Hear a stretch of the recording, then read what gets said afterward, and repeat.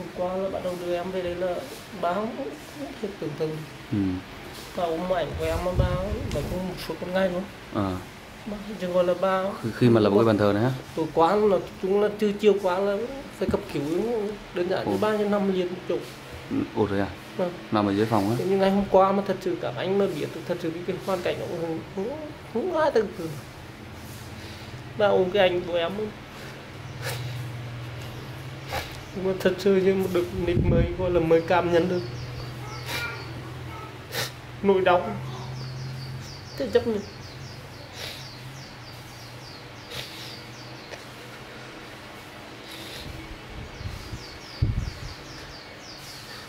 Anh em chị em trong gia đình chứ tục thực nhóm là để gọi là lúc nào ba mà có thể được được phải truyền cho ba cho bác quán được như không ừ.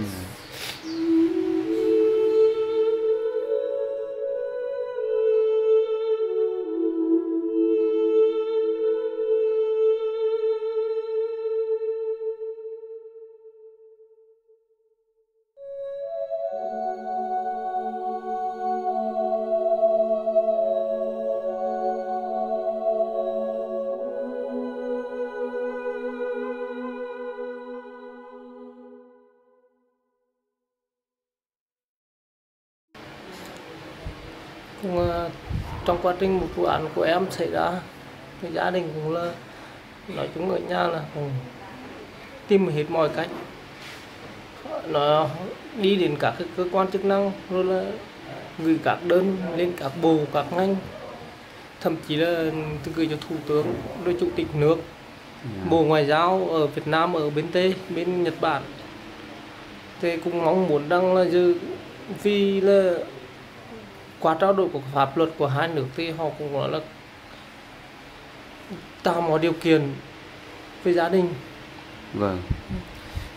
Nhưng mà giờ, giờ cuối cùng thật sự là khi họ giao ban giao thi thể cho cho cho họ nói là bên cảnh sát họ có về họ hứa là ngày hôm qua là họ giao ban giao thi thể.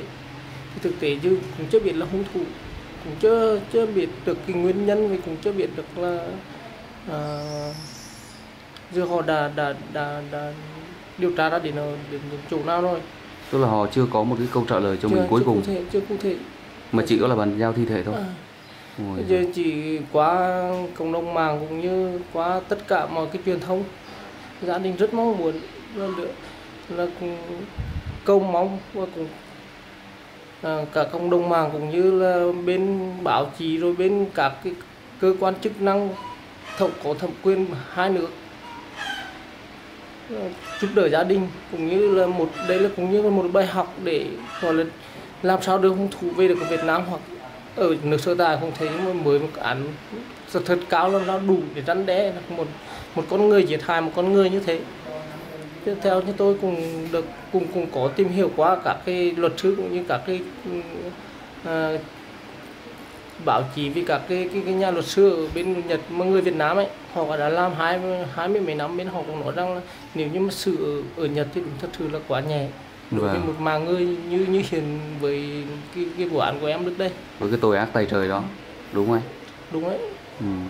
giờ là gia đình điều điều cuối cùng và mong muốn là sớm đưa được em về tại quê hương và cũng sớm đưa cái hung thủ ra được ánh sáng của pháp luật và mới chịu phải một cái mức phạt gọi là tối đa cao nhất để rắn đủ rắn đe để cho những cái thế sau họ đó là một cái bài học cũng như một cái tấm gương trong cái vụ án này. Vâng. sự sự mong muốn chân rất là sâu sầm từ trong một trái tim của con người trong máu Việt Nam ấy. Vâng. Những cầu mong ở cả nói chung là như tôi cũng cảm nhận rằng là cái vụ án này cũng nó đã đi ra cả cả thế giới chứ không phải là chắc là năm năm năm còn ở trong nước Nhật và nước Việt Nam mình. Đúng rồi nhưng mà ngày, hôm nay em thấy là có một cái điều mà nó hơi băn khoăn một chút. Ở chỗ là cảnh sát người ta quyết định là giao cái thi thể cho người nhà. Nhưng mà lại chưa có cái câu trả lời cuối cùng là hung thủ là ai và cái cái cái kết luận của vụ án này như thế nào thì cũng cũng hơi băn khoăn anh hời Nhưng cái đó đúng thật sự gia đình cũng đang còn một, một gọi là một câu hỏi thật. Đúng không? Vâng. mặc dù là gia đình là chúng ta rất mong muốn được nhận cái ờ, thi thể của em Thi thể về của sớm. em về sớm. Đấy, nhưng mà bên cạnh đó mình cũng phải là phải có câu trả lời chứ. Đó câu trả lời để cho hắn công bằng lấy lại cái sự công bằng cho em. Vâng. nhưng mà cho đến bây giờ là vẫn chưa có một cái câu trả lời nào. Chứ không câu trả lời gọi là trên giấy tờ cũng như trên trên điện thoại cũng chưa à, chỉ biết rằng là ngày hôm qua là họ nói là họ bàn giao cho người đại diện ở Việt Nam của gia đình ấy rồi thì nghiệp người đại đoàn diện bên Nhật chứ ừ. Của- coi là như bên bên người Việt Nam mình ấy à, người Việt Nam mình ở bên Nhật đấy Ừ. à.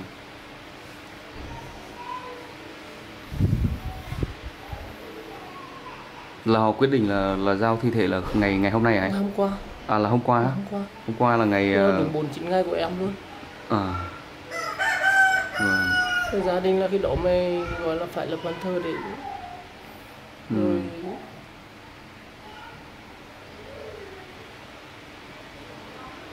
Thế hôm qua là 49 ngày rồi cho nên là gia đình cũng lập cái ờ, bàn thờ để ờ, thắp thắp cho em nén hương đúng không? Ừ. hôn em Vâng. Chứ còn ngoài ra là chưa có một cái câu trả lời chính xác nào. Ừ.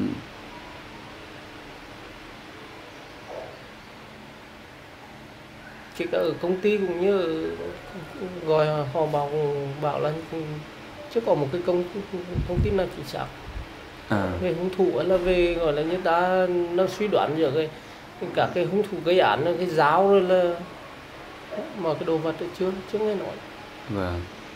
Thế mà những ngày vừa qua tôi nói là tìm thấy con dao rồi là dao cắn nhừa thế này thế kia thực tế là không phải đúng không gia đình thì cũng mong muốn đó là một sự thật Vâng. Ừ. nhưng mà không biết rồi thì người người ta cũng nói rằng là cũng có những người này người nọ thế nhưng thật sự báo chí đó có đúng hay không thì cũng chưa cũng là không kiểm chứng được À. Còn về bên phía cơ quan chức năng thì Là- họ chưa thông báo gì chưa. cho mình ạ đúng không? có thể là nghiệp nghiệp vụ của họ thì họ không họ chưa À. nhưng mà hay là có một cái gì đó họ chưa thì cũng không biết được Vâng. Thế chỗ cái có. chỗ chỗ mấy cái anh em mà trong cái biệt đội tìm kiếm ở bên Nhật ấy thì họ cũng có nói với mình là đã tìm thấy hung khí rồi chứ? chưa Cũng họ chưa. chưa họ vẫn khẳng định bởi vì họ biết mà À. nếu giả sử bên Bởi vì nếu mà có thông tin gì thì bên biệt đội tìm kiếm những anh em đại diện bên đó người ta biết ngay mà đúng chắc là không? họ biết thật Ừ. sự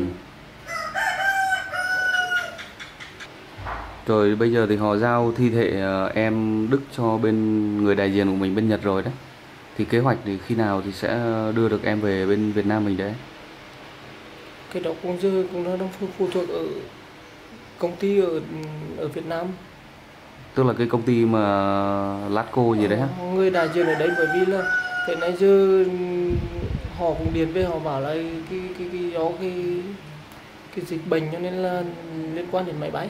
À, họ cũng muốn sắp xếp cũng gọi là họ vẫn hứa rằng nếu khi xong xuôi rồi họ cũng muốn là đưa về sớm nhất. Dạ, nhưng mà gia đình thì thế nhưng chứ thực sự là phải phụ thuộc.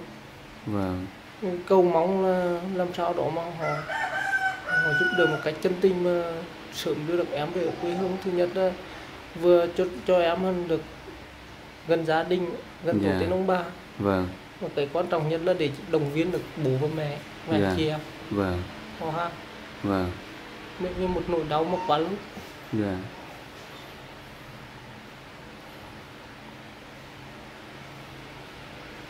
Rồi công ty thì trong những ngày vừa qua thì họ có liên hệ gì với mình? có họ vẫn có điền anh Mạnh vẫn có điền vẫn có cái nguyện vọng khi đâu anh cũng hỏi rằng là có muốn người nhà sang ở bên đó để đưa em về hay không? Thì thật sự muốn thì Ai chả muốn.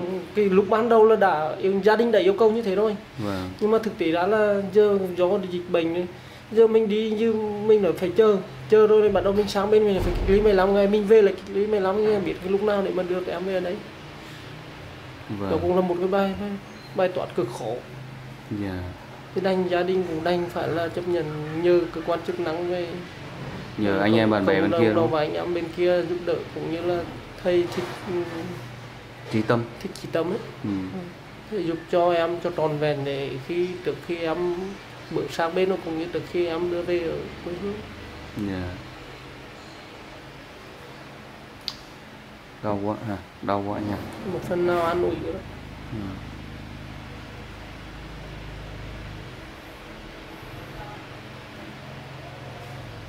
Chứ rồi cái cái việc mà trong những ngày vừa qua thì gia đình mình đấy có viết thư lên chủ tịch nước rồi là bên chỗ bộ ngoại giao có Ừ, thì ở bên kia bên bên, bên chỗ ờ, họ đã trả lời cho mình về cái vấn đề là có dẫn đồ được hung thủ về Việt Nam không ấy?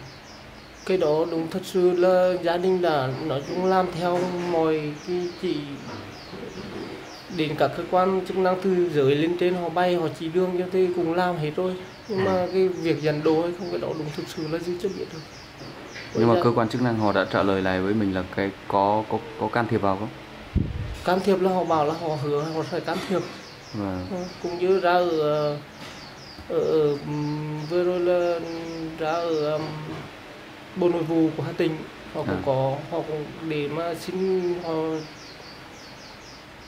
cái chỗ để gửi gửi đơn lên ấy họ cũng nói như thế họ cũng nói họ sẽ sẽ nhấn mạnh vào cái vấn đề là đưa được ờ, giúp đỡ hết cỡ để để để, để có thể đưa hung thủ về Việt Nam ấy. và Ừ. hy vọng rằng là những cái mong muốn của gia đình mình ấy, sẽ bên chỗ các cơ quan chức năng ấy, sẽ làm được à, sẽ phối hợp để để để giúp cho mình ờ, giúp giúp đưa được cái hung thủ đó về Việt Nam Vâng. để ờ, xử lý ở một cái mức án cao nhất hoặc nếu không đưa được về Việt Nam thì ở bên nước Nhật cũng vậy Vâng. đúng không để ờ, để ờ, như lúc nãy anh nói đấy nó cũng phải là một cái bài học để Vâng. còn răn đe những kẻ khác nữa Vâng. chứ còn nếu mà bây giờ mà mức án mà nó quá nhẹ nhé như như những gì mà chúng ta được biết và như những vụ án mà chúng ta đã thấy trong thời gian vừa qua bên Nhật ấy, thì nó sẽ rất dễ trở thành một cái tiền đề về lâu dài sau này con em ờ, Việt Nam mình làm sao đủ an tâm an lòng để đi sang bên Nhật để lao động nữa đúng không anh? Đúng ừ. và đó cũng là một một cái bài học để cho chúng ta nhìn nhận vào chứ. Mình sáng ở nước sở tại và mình làm những việc như thế con mắt của những người người nước bạn họ nhìn vào con người Việt Nam mình như thế nào? Yeah. với ánh mắt. Giờ sống với nhau không thích nhau thì bắt đầu anh lại giết đi rồi. Vâng. Anh có thể làm thế này thế kia anh Vâng. chịu mấy năm tù anh về anh lại về ở Việt Nam anh không không có một cái bản án gì đi nó quá bất công đúng không cực kỳ bất công luôn ừ.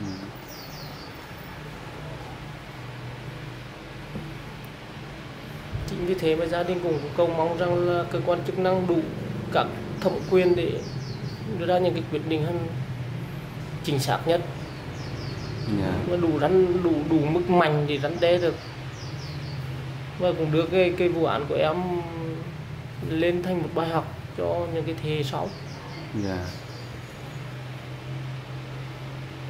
đó là điều mong muốn của không phải của một người mà có thể là hàng triệu người Yeah. ở, ở, đúng rồi ở trên thế giới theo cái vụ án mà của như tương tự như của em Đức yeah.